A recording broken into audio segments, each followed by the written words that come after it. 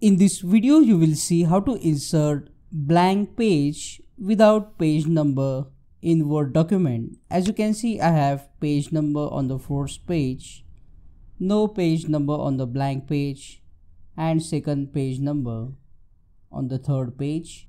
First we need to insert the section breaks Pilcrow icon to show the formatting marks. Now click in the first page at the bottom and go to the layout tab. Under the layout tab, under the breaks, select the option next page. So this will insert a first section break. This mark indicates the section break. Now click on the blank page at the bottom.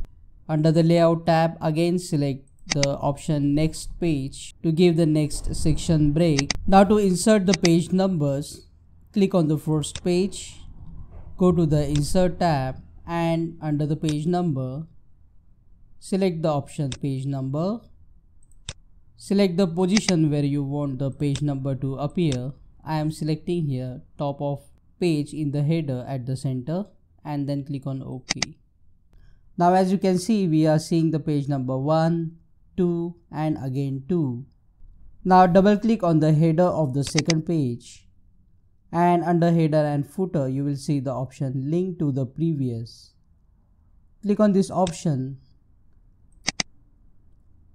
Press ctrl a to select the page number on the blank page and press delete or backspace to delete the page number. Now to add page number 2 on the third page double click on the header of the third page Click on this option link to the previous. To remove the link, go to the insert tab and under the page number, select page number. Center align under the format. Now this page number will start from the second page. So click on the start at and enter the number 2 and click on OK.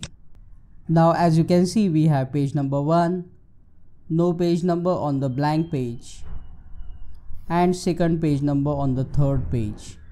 And to remove this Pilcrow icons, just click on the Pilcrow symbol and the Pilcrow icons will be removed.